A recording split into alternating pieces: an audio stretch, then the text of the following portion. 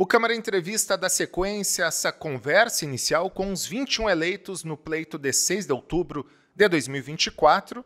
Lembrando que, para o período de 2025 a 2028, a TV Câmara recebe os 21 aqui para uma conversa inicial e desta vez, quem está aqui conosco é o vereador Sidney Cardoso Pereira, do Partido dos Trabalhadores, o CID. Ele que fez a sua estreia aqui na Casa Legislativa com 2.892 votos, primeira vez que concorre.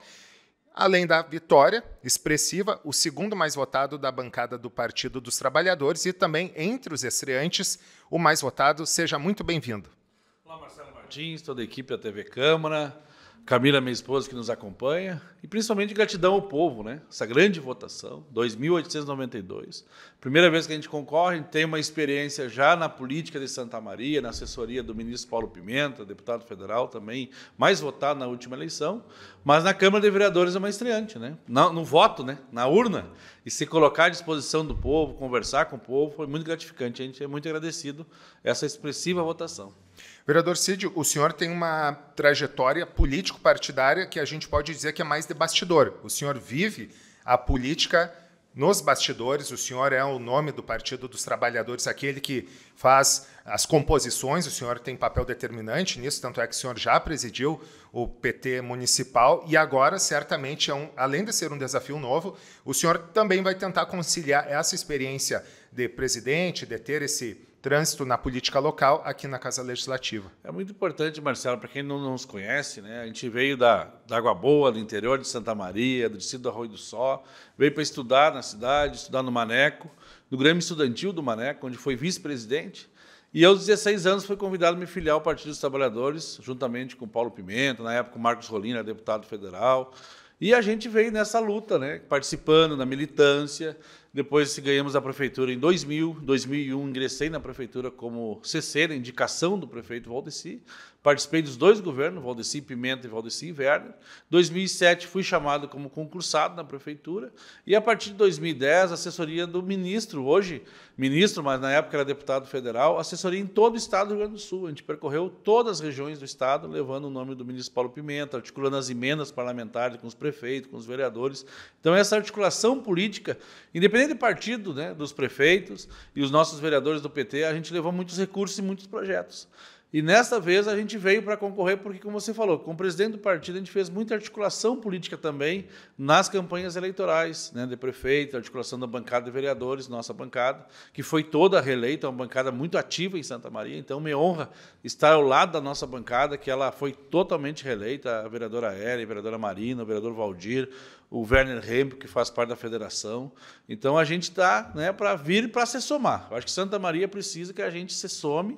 Agora tivemos resu resultado do segundo turno e nós precisamos pensar a partir de agora em Santa Maria. Temos o governo federal, temos o ministro Paulo Pimenta e a gente vê muitas pessoas precisando de atendimento, principalmente na saúde, que é uma pauta que a gente vai trabalhar muito para melhorar a qualidade tanto na atenção básica quanto nas especialidades, que as pessoas às vezes esperam três anos para fazer uma cirurgia ou uma consulta especializada.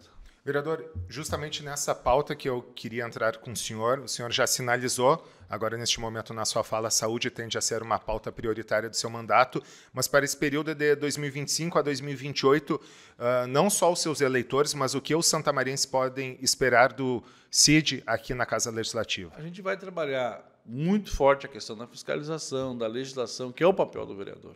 Mas essa experiência que a gente tem, que fez ao longo desses 25 anos ao lado do ministro Paulo Pimenta, articulando recursos para os vereadores de diversos municípios, a gente quer articular recursos e projetos para Santa Maria, que mude a vida das pessoas na real, que elas não precisam às quatro da manhã lá para tirar uma receita, que a gente vai junto com a prefeitura, mesmo sendo oposição, buscar alternativa para que isso melhore, que as pessoas não esperem três anos para fazer uma cirurgia especializada. A gente sabe que o USM está superlotado, mas também sabe que o hospital regional tem muito mais leitos e pode aqui, Santa Maria, voltar a ser uma referência na saúde, que hoje virou São Cepé, Faxinal do Soturno, Santiago, várias cidades da região, ao invés de fazer a sua cirurgia aqui em Santa Maria, os santamarenses vão de ambulância para a cidade da região. A gente tem todo o carinho e respeito pela cidade da região, mas a gente quer que a nossa Santa Maria volte a ser referência, principalmente na saúde. E, vereador, o senhor comenta do ministro hoje, ministro Paulo Pimenta, enquanto o deputado federal aportou milhões, não só em Santa Maria, mas também nos outros municípios do Rio Grande do Sul. Agora, aqui na Casa Legislativa, o senhor tende, acredito, é a tendência, por óbvio, né, o senhor ser esse elo com o governo federal, com o trânsito e canal direto que o senhor tem com o ministro Paulo Pimenta. O senhor já tem mapeado para esse primeiro ano de legislatura em que o senhor estará na casa, o que, que o senhor já vai buscar pleitear para o município por meio do ministro? Com certeza a gente vai buscar, como eu falei, essa questão da saúde, que eu vejo que é uma prioridade, mas nós temos uma ligação muito forte com o esporte, né? a questão das escolas de futebol, questão da arbitragem do futebol amador, que já faz três anos que a gente vem acompanhando. A melhoria nos campos, que são campos, às vezes não tem a escritura, a matrícula, a dominalidade da escola, do campo de futebol. As escolas mesmo, a gente vai até a escola, consegue uma quadra esportiva, chega lá a dominalidade, a matrícula é do Estado, é da Conab, é da Coab, é de outras entidades e não do município. Isso também a gente quer fazer vários projetos que têm recursos no FNDE para a educação, tem recurso às emendas parlamentares dos deputados federais, dos senadores, 50% tem que ser na área da saúde. Então, tem muitos recursos que a gente pode buscar em Brasília, a gente vai convidar além, né, a gente não vai sozinho a Brasília, a gente vai convidar além da nossa bancada os outros vereadores. Eu acho que Santa Maria tem que se unir, os 21 vereadores, para buscar esses recursos, cada um nos seus deputados federais, nos seus senadores, tem recursos nos ministérios. Né, nós temos uma grande bancada aqui. Se tu avaliar a questão do governo Lula, a bancada do MDB tem ministros, a bancada do PP tem ministros, então a gente pode buscar isso em Brasília. Né? A União Brasil tem ministros, então a gente pode buscar vários recursos para Santa Maria. Nós temos que unir Santa Maria e tornar, além das questões do palanque eleitoral, que foi uma disputa real em Santa Maria, né? que fica, nós somos de oposição ao Rodrigo Décimo e à professora Lúcia Madruga, mas nós temos que pensar nesse momento para melhorar a qualidade de vida das pessoas. E isso nós precisamos de unidade e só o legislativo não consegue executar. É o executivo que executa. Então a gente vai precisar essa agilidade da prefeitura na execução da captação desses recursos. Vereador, uma situação que no seu plano de governo, né, nas intenções que o senhor sinalizou quando uh, o senhor protocolou sua candidatura lá no TSE, fala em mobilidade urbana, que é uma outra pauta que o senhor também trouxe. Qual é a ideia e dentro aqui da casa o que, que o senhor vai tentar buscar? Santa Maria, Marcelo, tem quase 300 mil habitantes. Né?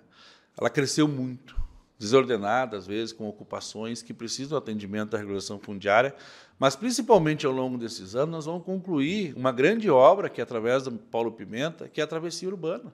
Nós melhoramos a, a, a, questão da mobilidade urbana do trevo do Castelinho até passando na Ubra, quem vem da Serra em direção a São Pedro, e também ali com o viaduto que vai ficar pronto da Uglione, com direção ao Porto do Rio Grande, porque vão duplicar 392 até quase lá, o, o, o passando o Minuano, chegando lá na Estância dos Montes. Né? Então, isso vai melhorar a, a mobilidade urbana, mas a parte interna das nossas avenidas. Hoje, né, nós precisamos de novas avenidas em Santa Maria. Né?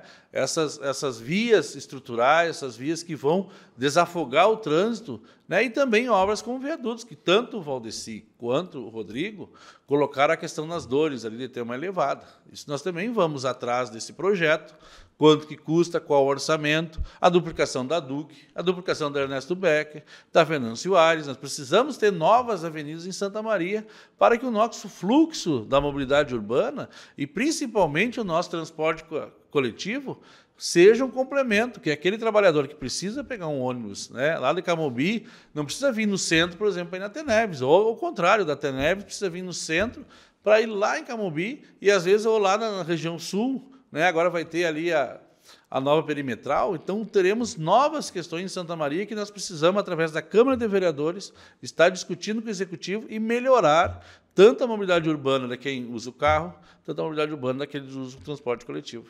Vereador, antes o senhor falava da questão uh, de uma composição obviamente dentro da casa, para fazer com que o município, a gestão, a próxima que se inicia também em 2025, avance em pautas que o senhor já pontuou aqui: a saúde, o senhor elencou como prioritária, agora a mobilidade urbana.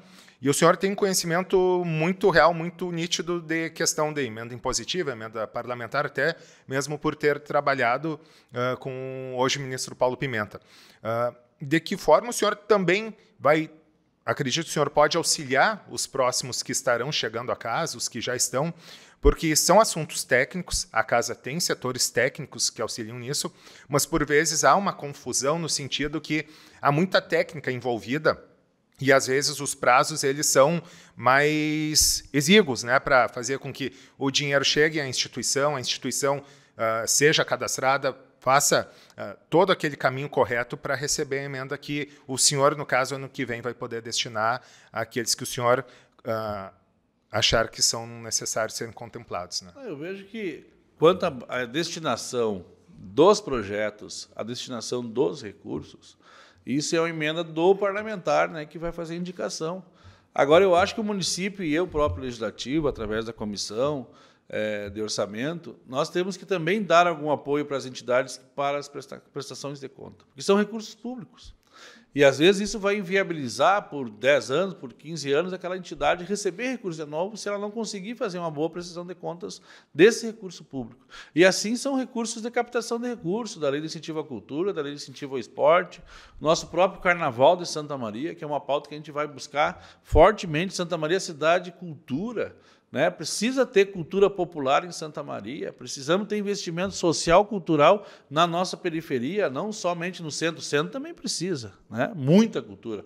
Mas a nossa questão social na periferia precisa voltar a ter o carnaval popular. Mas isso também as entidades, as escolas de samba precisam prestar conta daqueles recursos públicos. Então vejo que a gente precisa ter algum apoio nesta efetivação do recurso e depois na prestação de contas, para que o próximo ano você consiga efetivar novamente. Pode-se esperar, pelo que o senhor fala, obviamente um, um mandato do senhor uh, combativo, de cobrança, mas também propositivo muito propositivo. A gente quer, eu vim do interior, eu sei que o interior precisa de estradas. E a gente precisa buscar recursos. Nós vamos na Serra, em Bento Gonçalves, tem incentivo em todos os distritos, todas as vias, todas as linhas, tem asfalto ou calçamento. Por que, que Santa Maria não tem? Nós precisamos incentivar nossos distritos à produção. Não tem produção no nosso distrito. Nós compramos muitos produtos de fora de Santa Maria. Isso não podemos mais aceitar. Nós, Santa Maria é cidade grande e nós precisamos, além de ser um mandato, como eu disse aqui, de oposição, nós vamos propor. E esse propor, nós precisamos do executivo para executar. Isso nós vamos cobrar. Nós vamos captar esses recursos e vamos cobrar a imediata execução. Porque senão a gente acaba criando uma falsa expectativa. Vem os recursos do governo federal e também tem o governo estadual. Nós estamos com o governador e esse governador também tem papel fundamental no hospital regional, nas estradas que são do DAIR. E tem projetos que, assim como o incentivo da lei do esporte, tem a lei de incentivo do asfalto, que é o PIAA. Nós podemos buscar recursos, por exemplo, para asfaltar acesso a Santas Flora, que é um acesso do DAIR. Agora nós precisamos fazer um projeto, nós precisamos buscar empresas que pagam ICM e, através desse projeto, nós, junto com a prefeitura, junto com o DAER, fazer o asfaltamento tão esperado em Santa Flora, por exemplo, de Arroio do Só, dos Pains. Mas para isso nós precisamos ter projeto e também no Ministério do Turismo, acesso turístico, nós precisamos também desenvolver. Olha a quarta colônia, olha o Recanto Maestro, como está se desenvolvendo. Santa Maria não pode ficar isolada, Itaara, nós precisamos estar conjunto com as cidades da região para melhorar o turismo em Santa Maria. Então, acho que nós temos muitas coisas para trabalhar, muitas ideias propositivas, mas, como eu te disse, sempre vamos trabalhar pensando na realidade e não criar falsas ilusões para o povo e aquilo de imediato que a gente pode melhorar em Santa Maria. Vereador, a gente está chegando ao fim da nossa breve entrevista, mas antes peço que o senhor uh, direcione, dirija uma mensagem do vereador Cid Sidney Cardoso, Cid do PT, não só ao seu eleitor, que lhe deu esses 2.892 votos, mas também à sociedade santamariense e o que pode esperar do Cid a partir de 2025. Sim, Marcelo, muita gratidão. A gente quer agradecer né, a nossa eleição. A gente sabe que Santa Maria é uma cidade universitária, Santa Maria é cidade de cultura. A gente vai ter que aqui na Câmara ter o debate ideológico, ter o debate das suas ideias. A gente tem que saber conviver com aqueles que pensam diferente com a gente. Por isso que a gente lutou muito pela democracia. Agora a gente precisa, a partir de janeiro, trabalhar uma nova Santa Maria, uma Santa Maria de desenvolvimento, uma Santa Maria que precisa na questão da mobilidade urbana, na questão da saúde principalmente, na educação, nas nossas creches, né, que cuidam das nossas crianças, valorizando nossos colegas. Eu sou servidor concursado municipal, vou trabalhar muito para a valorização dos trabalhadores e das trabalhadoras. Nós temos lado aqui na Câmara de Vereadores e quero aqui agradecer mais uma vez, né, não puder conversar com o pessoal, um Feliz Natal, um bom Ano Novo, que comemore junto com as suas famílias, sem preconceito, sem ódio, com muito amor no coração. E a partir de 1 de janeiro vamos tomar posse e a partir desse dia estaremos aqui na Câmara de Vereadores uma ferramenta para atender a população de Santa Maria. Muito obrigado pelo espaço e vamos em frente. Nós agradecemos aqui a participação do vereador Sidney Cardoso, Cid do PT. Boa sorte ao senhor, bom mandato. E essa foi a entrevista com o vereador Sidney Cardoso, Cid, do Partido dos Trabalhadores. Lembrando que a TV Câmara, nesta edição do Câmara Entrevista Especial Eleitos 2025-2028, está trazendo aqui os nomes dos 21 parlamentares que estarão na Casa Legislativa para os próximos quatro anos, logo mais a partir de 1 de janeiro de 2025. Mais uma vez, vereador Cid, obrigado pela Atenção, presença do senhor aqui, uma boa sorte, um bom mandato ao senhor.